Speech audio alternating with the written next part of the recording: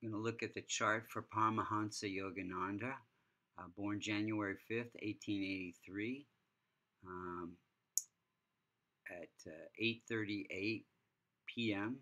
in Gopur, Uttar Pradesh, India.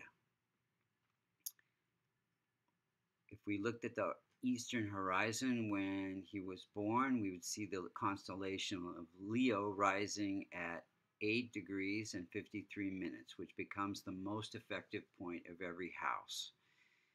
Um, for the Leo chart, we want to see what are the how the planets are operating and, and when they're operating and what we can do to fix the chart. So most of the Leo planets are benefic.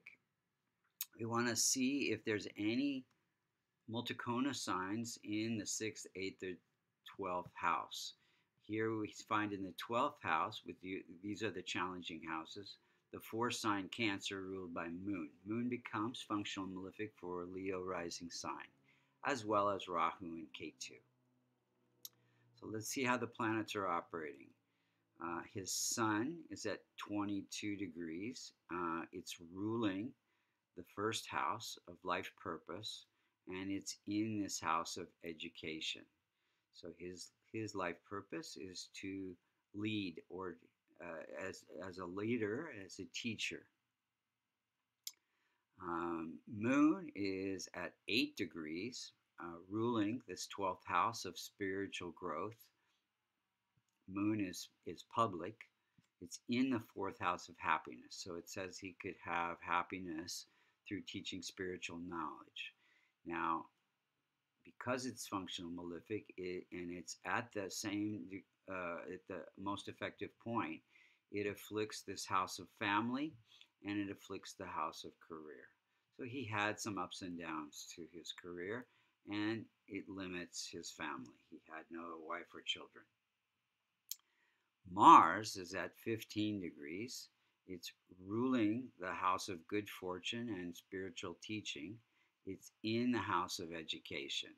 And Mars gives ambition to teach spiritual knowledge.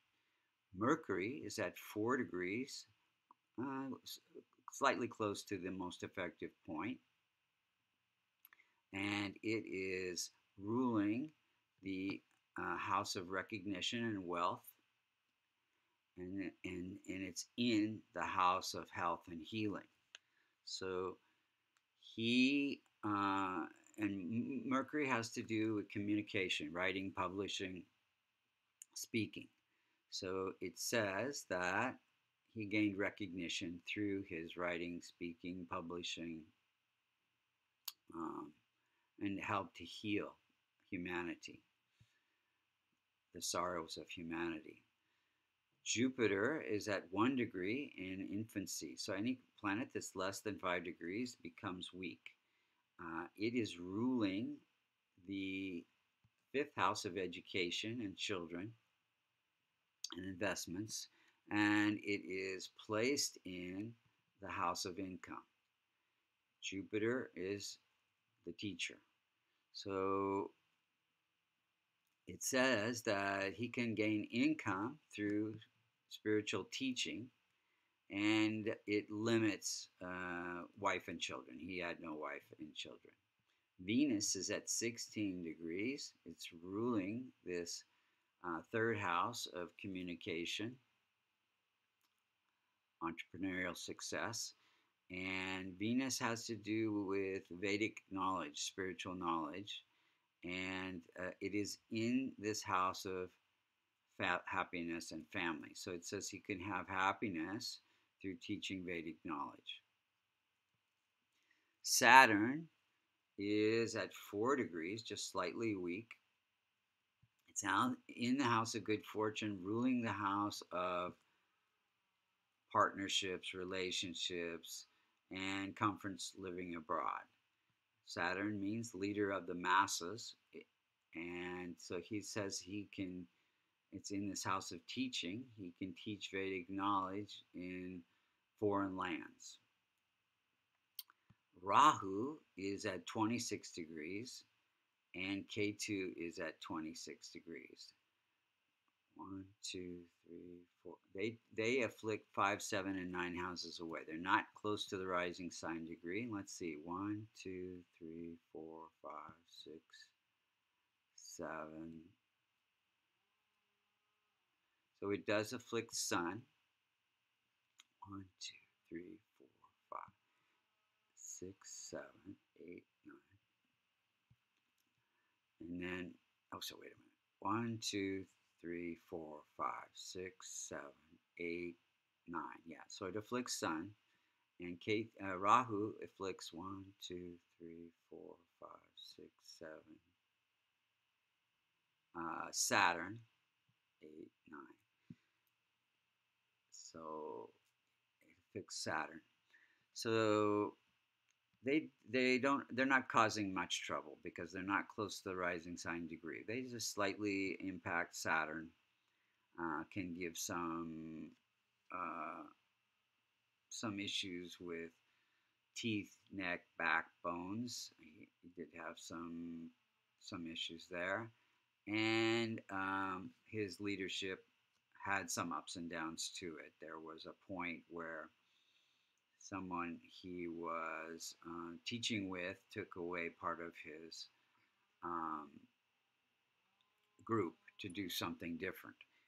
Uh, let's look at when the planets were operating, the Dasha periods. He was born in a Saturn um, Dasha period, which is Saturn becomes the root of his tree of life. Whenever Dasha period you're born into becomes the root of your tree of life. And so uh, he was born to lead the masses. He met his guru and, uh, and was initiated in 1915 in a Ketu period, very for spiritual growth period. He moved to the United States of America in to, uh, 1920, uh, uh, and also he established his um, spiritual regeneration movement in 1925, had a mystical experience um, in 1936. These are during all during Venus period, Vedic knowledge period. He published his first book, Autobiography of Yogi, in uh, 1945 during a moon period uh, moon again, spiritual knowledge. Um, and then he passed away in 1952 during a, he actually left the body uh, in 1952 doing a moon Ketu period. So he, in enlightenment, left, left his body. Um, what can we do? So uh, Rahu uh, is desire, uh, it's in this house of communication, desire to communicate uh, spiritual knowledge. Ketu is in this house of good fortune and spiritual knowledge, give insights into teaching spiritual knowledge.